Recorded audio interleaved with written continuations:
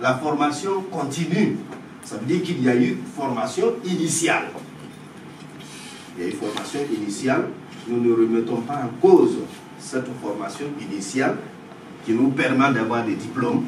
mais avec les diplômes, ce n'est pas sûr, n'est-ce pas, qu'on puisse être efficace sur le terrain.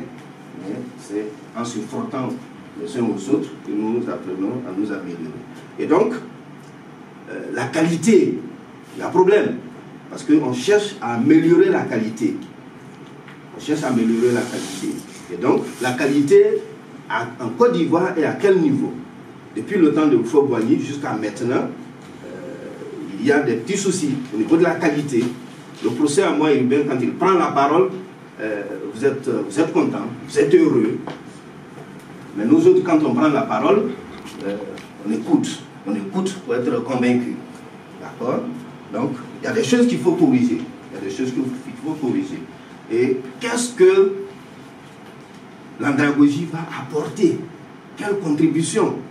Nous ne sommes pas en palabre avec les pédagogues. Les andragogues et les pédagogues, il n'y a pas de problème entre nous. Mais j'ai dit, il y a deux spécificités qu'il faut identifier pour que l'andragogie puisse apporter quelque chose. Voilà, ce sont des images de position d'andragogie. On va attraper la parole, on va aller avec euh, la parole. Donc, nous avons distribué des fiches pour euh, identifier l'itinéraire. Voilà, parce que soit dit en passant, en pédagogie, quand vous allez demander à un professeur euh, qu'est-ce qu'on va voir, qu'est-ce qu'on va voir, vous vous calmez, vous vous taisez, vous allez découvrir en andragogie. On va vous dire où on va. Vous allez faire des recherches. Et quand on, euh, chemin faisant, on sait qu'on va arriver à, tel endroit. Merci beaucoup. Donc, il y a quatre axes d'intervention. Le premier axe, c'est l'état des lieux du secteur formation continue en Côte d'Ivoire. Madame le FDFP, je crois que votre contribution sera la bienvenue. D'accord Le deuxième axe, c'est les spécificités de la pédagogie et de l'andragogie. Le troisième axe, c'est la contribution et les recommandations de l'andragogie. Le dernier axe, ce sont les informations utiles sur le salon de l'andragogie. D'accord? Premier axe. Euh, le secteur de la formation, vous savez, euh, ça bouge. Ça bouge. Euh, sous contrôle, n'est-ce pas, de Madame la représentante du FDFP.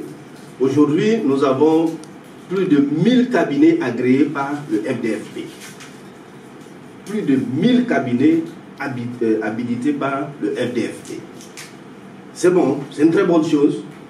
Cependant, parmi ces cabinets, qu'est-ce qui se passe? Pourquoi les mêmes modules reviennent?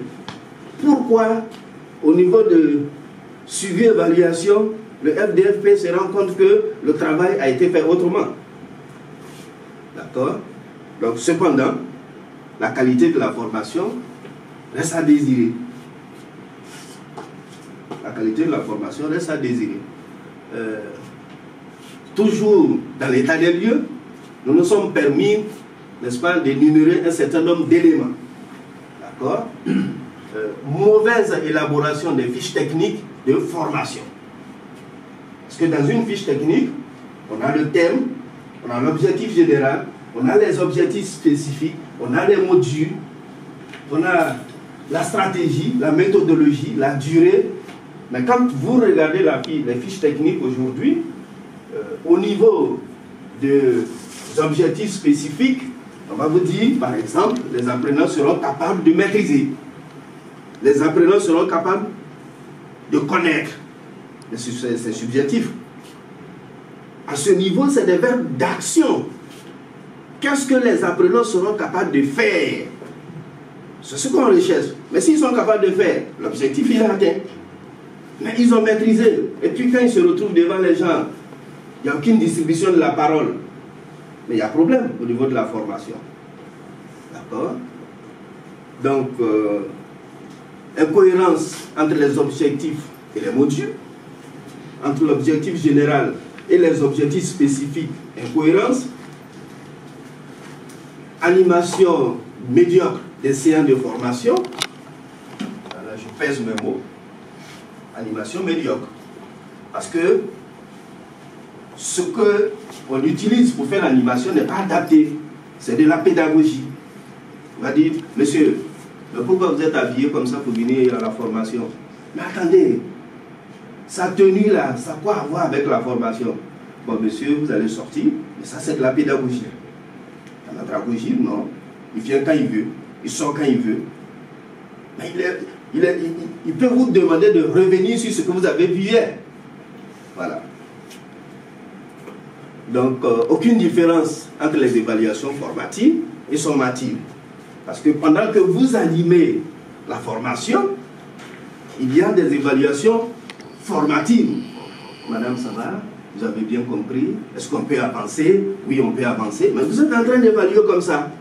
Ce n'est pas un contrôle de connaissances où on va dire prenez des feuilles, on va donner des notes. Non. Donc, à la fin de la formation, on va faire une évaluation sommative qui nous permettra, n'est-ce pas, de voir que la formation atteint son objectif. Aucune différence, effectivement. Absence de distribution de la parole. On, monopolise la parole. On ne distribue pas la parole. Alors que ce sont des échanges. N'est-ce pas, M. Awad Ce sont des échanges entre vous et les apprenants. Il y en a qui ont fait des séminaires à Londres, aux États-Unis. Mais quand ils se retrouvent avec vous, vous ne distribuez pas la parole. Mais il va se lever, il va partir. Il n'y a pas d'échange. Aucune visibilité ou absence dans le suivi et évaluation des formations. Madame du FDFP, il y a des fiches d'évaluation. on va dire l'évaluation, la formation a été faite. Oui, on a fait l'évaluation, on a signé. Mais tout simplement parce que il s'agit de ça. Mais quand on va contrôler, le monsieur ne demande pas la formation. Le deuxième axe, ce sont les spécificités de la pédagogie et de l'andragogie. ça à moi. Soyez indulgents avec moi. D'accord? Le terme pédagogie vient du grec, païde, qui veut dire enfant, adolescent, et agogo, le guide, le discours. Donc, c'est la science de formation des enfants, des adolescents. Parce que la spécificité de ces personnes-là, c'est que c'est des êtres inconscients, entre guillemets, sinon on ne prendrait pas des machettes à l'université. Ils vont à l'école à cause des notes. C'est la note qui motive. D'accord? Ils vont à l'école parce que papa a dit d'aller à l'école. Mais au bout du compte, ils ne savent pas, ils n'appréhendent pas pourquoi ils vont à l'école. C'est la spécificité. Ils vont à l'école parce que quand on donne les notes, ils sont les meilleurs. Quand on va dire, on va donner les notes, on commence par les plus forts, il sait qu'on va l'appeler. Il est motivé par ça. D'accord? Euh, Cette méthode d'enseignement tient compte de la spécificité de l'enfant et de l'adolescent. Le deuxième aspect, c'est l'andragogie. Le terme andragogie, euh, andragogie, on va sortir de là avec cette euh, appellation, Désormais, tous ceux qui sont dans la salle ne vont plus parler d'anthropologie, anthropologie, mais c'est andragogie. Donc, c'est du grec. Pour ça, nous dirons pourquoi les Grecs ils sont trop forts dans ces situations-là. Le grec, andros, ça veut dire homme, et agogo, discours. Donc, c'est la science de formation des adultes. Donc, quelqu'un qui a cette spécificité-là, quand, quand la personne vous rencontre, c'est comme si la personne vous connaît depuis longtemps. Il sait comment parler aux adultes. D'accord Donc, cette méthode d'enseignement tient compte de la spécificité des adultes. L'adulte, quand il vient aujourd'hui, mardi 11 janvier, de 10h à midi, il vient ici, il vient pour quelque chose de très précis. Quand le professeur, moi, il vient à une conférence du professeur Diara, il vient pour quelque chose de très précis. Tous ces directeurs, tous ces responsables qui sont là, ils savent pourquoi ils sont là. D'accord? Et donc, la spécificité, vous voyez, parce qu'en andragogie, on va alterner des écrits avec des images. Parce que l'adulte, comprend mieux avec ces images qu'on fait passer. Donc vous voyez, euh, ça se passe le commentaire. Pédagogie, le savoir, il est ici. Le maître. Et c'est pour cela même à l'école, à l'époque, on avait l'estrade. C'est-à-dire que le maître, il est en haut. Les élèves sont en bas. D'accord? Donc, la connaissance va descendre ici. Donc, il est là, il fait descendre la connaissance. Gare à ceux qui sont ici de l'interférer, de poser des questions. Vous ne suivez pas. Il faut suivre ce qu'on dit. Qui t'a parlé de ça? Mais il allait faire des recherches, les enfants d'aujourd'hui. Mais si on leur permet, n'est-ce pas, d'apporter leur contribution, je crois que la formation va bien aller. Mais de l'autre côté, vous voyez, andragogie, ici, l'interaction entre le formateur, le facilitateur, n'est-ce pas, et les participants permet d'atteindre l'objectif. Parce que la plupart du temps, vous avez des personnes qui ont beaucoup d'expérience dans un domaine. Quand ils viennent à un séminaire, ils se demandent où il est là, pourquoi. Le formateur, c'est un théoricien, mais lui, il est un praticien. Donc, il va agrémenter, n'est-ce pas, ce séminaire-là. Donc, nous en venons au troisième tableau, qui est la contribution et les recommandations. Euh, pour nous, la prise en compte des dix principales lois d'apprentissage contribuera grandement à améliorer la qualité de la formation. Nous ne sommes pas au séminaire, mais il y a dix lois d'apprentissage hein, dont il faut s'approprier pour réussir la formation. Donc parmi ces lois, il y a euh, une condition nécessaire à la réussite de l'apprentissage le droit à l'erreur de l'apprenant. Mais en pédagogie, quand vous récitez une leçon, mais vous devez faire attention à toutes les virgules. C'est une spécificité, hein? mais chez les adultes, l'objectif n'est pas ça. L'essentiel qu'on atteigne le résultat. Et le résultat qui permet à l'entreprise d'avancer. N'est-ce pas? Chaque appreneur apprend à son rythme. Ah oui. Maintenant, parce qu'un adulte, quand il vient à une, un séminaire, il vient avec tous ses problèmes. À la maison, euh, la popote n'est pas assurée, le loyer, c'est dans quelques jours, mais il a tout ça dans sa tête. Mais il ne peut pas être concentré. Donc, il va apprendre la souris. Donc, quand il va poser des questions, ce n'est pas des questions, des questions euh, mal posées. Hein. Mais il faut que le formateur, n'est-ce pas, avec toutes ses qualités, comprenne qu'il doit être patient. Il doit écouter, il doit écouter, il doit poser des questions, il doit aller en aparté. Parce qu'à la fin de la formation, 100% des apprenants doivent être capables. Ce n'est pas une euh, petite partie, hein. c'est tout le monde. Voilà. Euh, voilà. La chose la plus précieuse que vous pouvez faire est une erreur. Vous ne pouvez rien apprendre en étant parfait. Non, on ne peut pas. Le procès l'a dit tout à l'heure, la formation, c'est la continuité.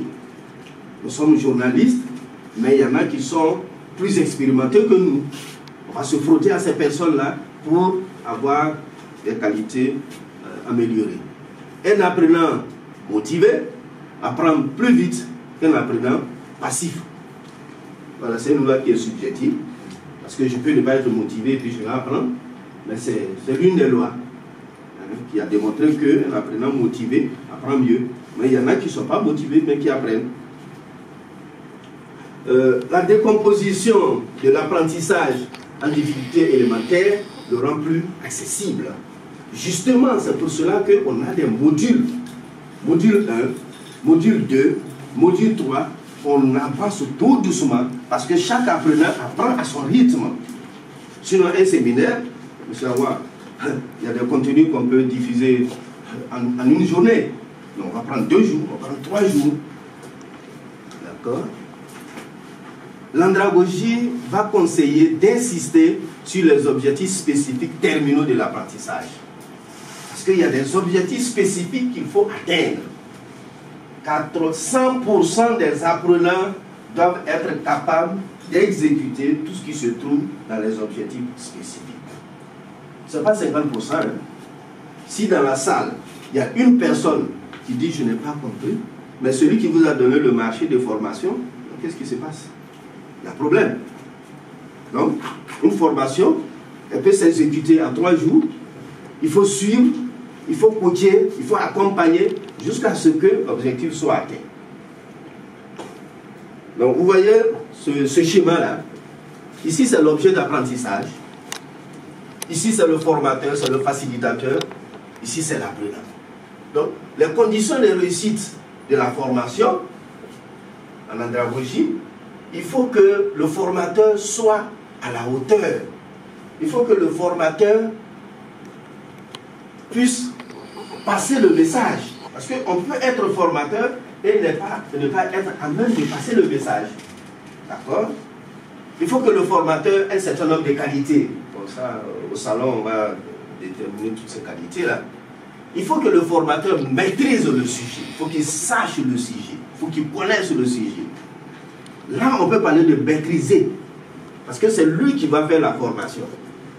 Il faut que l'apprenant, n'est-ce pas, ait une relation avec le sujet. Monsieur Kwasi, un technicien, le niveau d'ingénieur agronome. Mais si vous lui donnez un sujet qu'il ne connaît pas, mais il y a problème. Il va venir s'asseoir dans la salle, il ne comprend rien. Et ça se passe. Madame la représentante du FDFP, ça se passe. Il y a des personnes qu'on envoie la formation, voilà, pour justifier le budget, qu'on envoie la formation pour faire plaisir, qu'on envoie la formation pour que la personne ait euh, une place honorable. Mais au bout du compte, en entreprise, il y a problème. Il y a problème. Donc, la communication entre l'apprenant et le formateur. Donc, ce triangle-là, hein, il est très important. Vous voyez que euh, les mathématiques, ils bien à tous les niveaux, hein, mais ici, on ne va pas demander de calculer le cosinus ou quoi que ce soit. Voilà. Les spécificités des objectifs. Dans la vie, si vous poursuivez un objectif et qu'il y a un élément qui manque à cet objectif-là, changez d'objectif. L'objectif n'est pas bon. Donc l'objectif doit être précis, il doit être réalisable, il doit être inscrit dans le temps, il doit être mesurable, il doit être observable. D'accord? Nous tous, nous avons rêvé avoir une voiture Mercedes. À notre époque, c'était un Mercedes 190. Mais c'est un objectif qui est réaliste. Mais est-ce qu'il est réalisable? En combien de temps? C'est ça. Donc quand ce n'est pas réalisable, on va chercher euh, une deux chevaux, ou bien une mobilette, ou bien une bicyclette. Dans tous les cas, on va se déplacer. D'accord? Donc chez nous, on va dire que l'objectif est primo. Donc il est précis, il est réaliste, il est inscrit dans le temps, il est mesurable et il est observable. S'il y a un élément qui manque dans votre objectif, il faut le revoir. Et c'est la même chose quand on fait les objectifs d'entreprise, les objectifs des partenaires, les objectifs, n'est-ce pas, des collaborateurs. Vous fixez un objectif à votre assistante, il y a un élément qui manque, l'objectif sera pas atteint. Voilà, une autre position. C'est un colonel qui est là. D'accord L'objectif, c'est-à-dire, il a deux aspects encore, spécifique, mesurable, ambitieux, réaliste, temporalité, et l'objectif doit être SMART. SMART, spécificité, mesurabilité, ambition, réalisme, temporalité.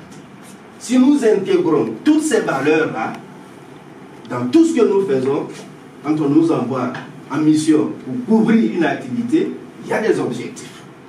Si les objectifs ne, respectent pas toutes ces conditions-là, il y a problème. D'accord? Donc, euh, que doivent faire les professionnels du secteur formation Que devons-nous faire? Nous, les formateurs, nous, les cabinets, FDFP, les ministères, les professeurs, que devons-nous faire? Il faut vulgariser la science de formation des adultes. Organiser des panels, coaching, de la nouvelle génération de consultants formateurs, des séances de partage d'expérience.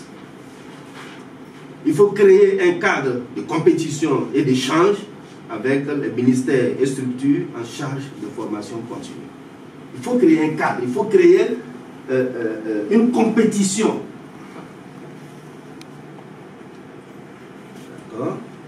Il faut initier la mise en place de pools de formateurs dans les entreprises. C'est vrai que nous, cabinets, on cherche ce que vous savez, mais en votre sein, si vous avez des pools de formateurs, cela va participer, n'est-ce pas, à la préparation, à la préparation de la retraite active et lucrative. Voilà. Les gens vont à la retraite, mais ils vont avec quoi?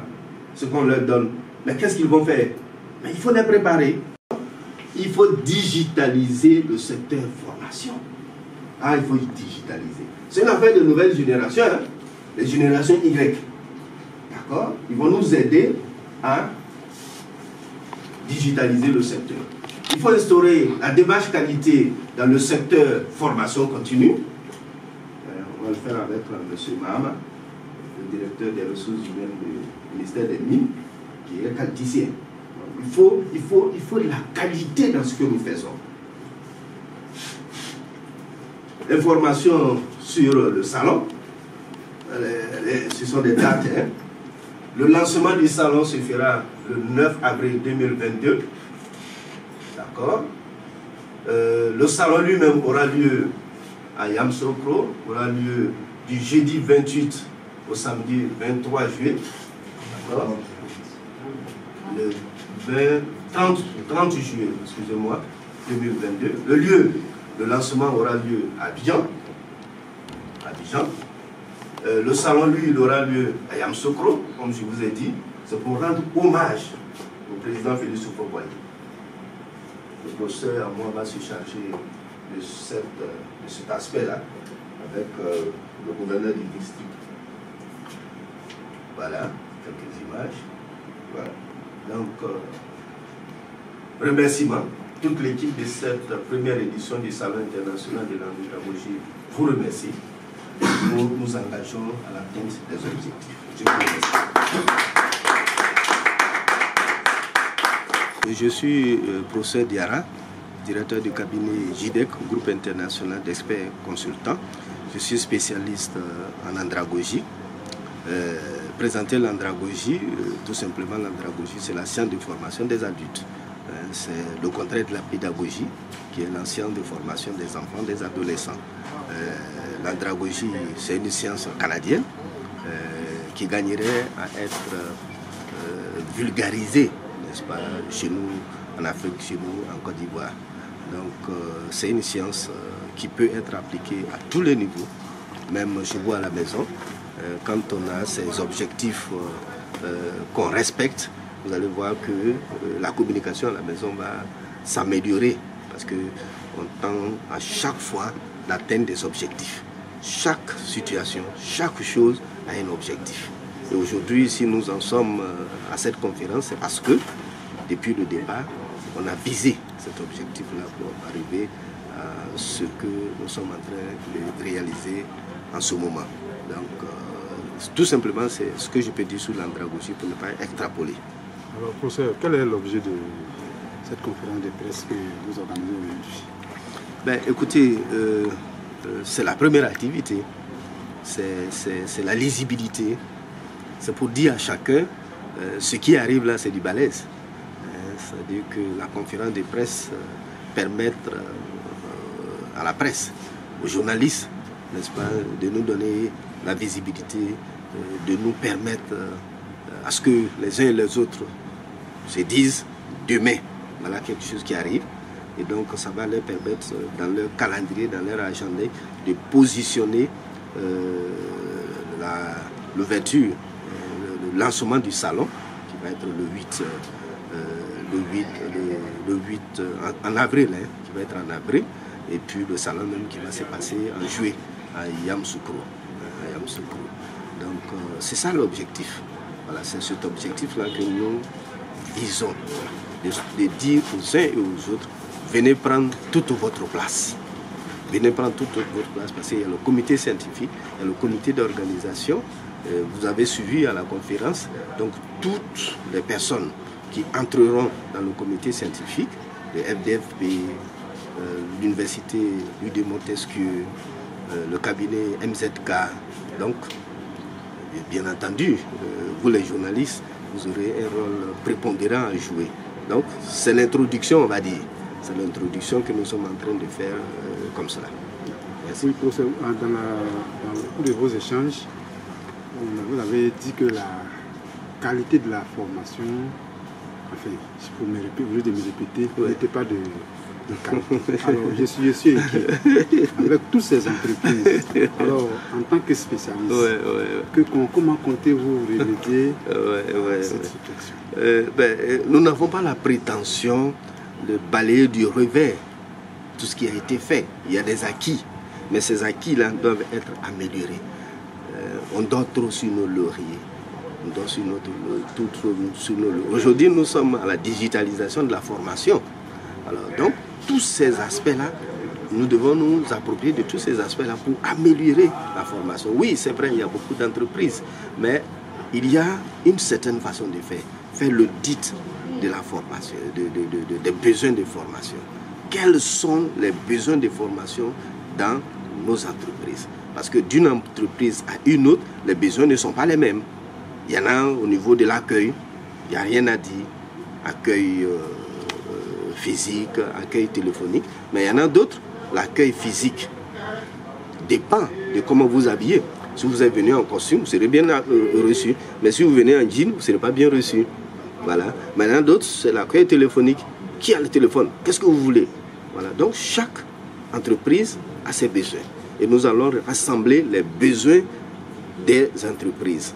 ceux qui ont des besoins au niveau de l'accueil, ceux qui ont des besoins euh, au niveau de la formation surtout, parce qu'il faut qu'il y ait en interne des personnes qui puissent nous faire revenir les besoins de formation. C'est le rôle des ressources humaines, c'est le rôle des responsables euh, du personnel.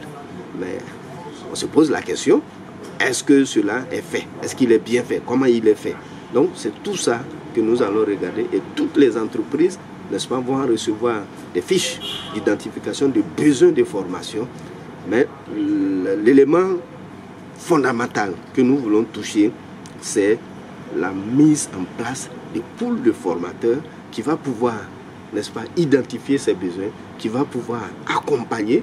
En ce moment-là, c'est une prise en main qui se fait, et puis après, les gens peuvent voler de leurs propres ailes.